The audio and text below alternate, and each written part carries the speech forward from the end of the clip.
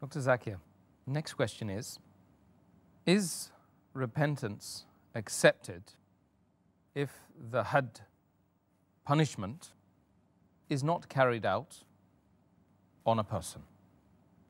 As I mentioned earlier, that a person should realize that the bounty of Allah subhanahu wa ta'ala, His mercy and grace is in abundance. And if you commit a crime, if it involves some other people, then you have to restore the property back. Like if you have robbed, then give the wealth back. If you're taking something from someone, give it back. But if it is between you and Allah subhanahu wa ta'ala, a person should never be dissatisfied.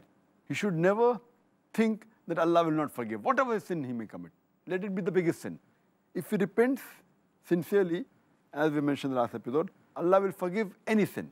But if he has done some harm to some other human being, then he should try and undo it. And Allah says in the Quran in Surah Furqan, chapter number 25, verse number 68, And as for those who do not invoke with Allah any other God, or do not take any life of any other human being unless for a just cause, or do not indulge in adultery, and for those who do it, for them there is a punishment. And Allah continues in the next verses. In Surah Furqan, chapter 25, verse number 70, As for those who believe and repent and do righteous deeds, Allah subhanahu wa ta'ala will change the evil thing that he has done, the evil deed he has done to good. So that's the mercy of Allah subhanahu wa ta'ala.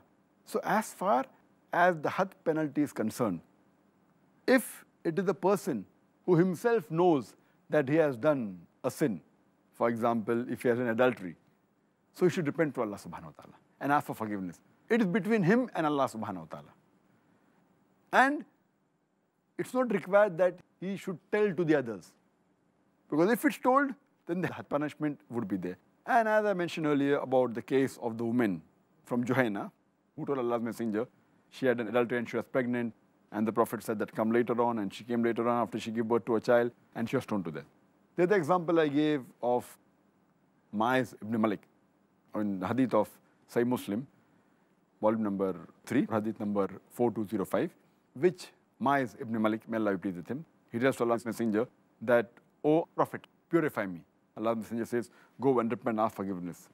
He again comes back and says, O Allah's messenger, please purify me. He says, go away. Allah's messenger, please purify me. Again goes away. Fourth time he comes in and says, what is your purify from what? Then he says, adultery.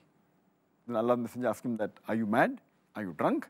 And then after that, verifying that he was not mad, he was not drunk, he had to pass the hadd penalty. But Allah's messenger said that both these two people, they had asked for forgiveness and they repented, so may Allah accept the repentance. But further it's mentioned in hadith of Muwatta, volume number 2, book of punishment, hadith number 12, the beloved Prophet Muhammad said that stop committing sins, major sins, etc. And if you commit, then you have to conceal it and ask for forgiveness from Allah subhanahu wa ta'ala. You repent.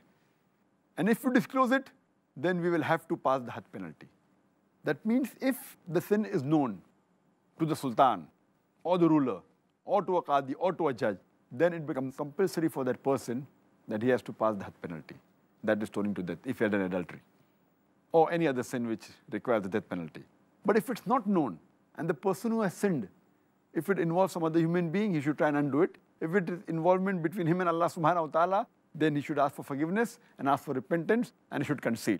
It's not a requirement that the punishment of hadd should be given to the person for repentance. But we have the examples of Maiz ibn Malik who repented and did not mind being killed for sake of Allah subhanahu wa ta'ala. Allah forgive them. And the Prophet said that even if you distribute it in the people of Medina, it would be sufficient for them forgiveness. But as a general rule, it's not a requirement that you have to pass the penalty for repentance. If you're exposed, then the penalty is there. If you're not exposed, conceal it and ask for forgiveness from Allah subhanahu wa ta'ala and you repent and inshallah Allah will forgive you.